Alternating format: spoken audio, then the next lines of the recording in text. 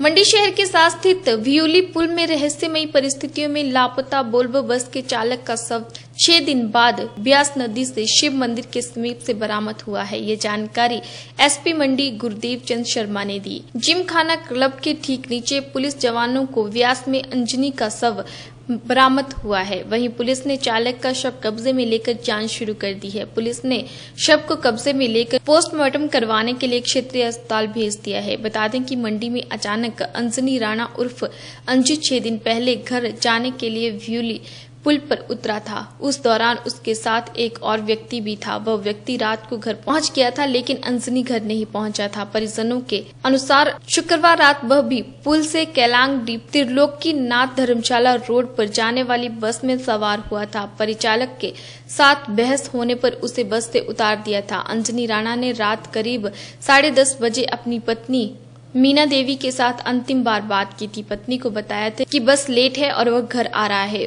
उसी रात के बाद उसका मोबाइल स्विच ऑफ़ हो गया था। सुबह तक अंजनी घर नहीं पहुँचा तो परिजनों ने उसकी सूचना पुलिस थाना सदर में दर्ज करवाई थी। उसके उपरांत पुलिस ने छानबीन शुरू कर दी थी। अंजनी के माथे पर चोट के निशान है। उसे मारकर किसी ने ब्यास में फेंका था या फिर खुद गिर गया था। उत्तक खुलासा पोस्टमार्टम रिपोर्ट आने के उपरांत ही होगा।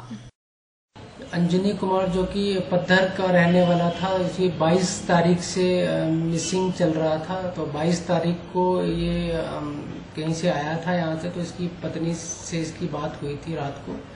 और उसके बाद इसके साथ एक इसका साथी ड्राइवर भी था साथ में, जो कि बस में चला गया था। ये बस पर ही बस से ब्यूली पुल के पास उतर गया था, उसमें नहीं बैठा था।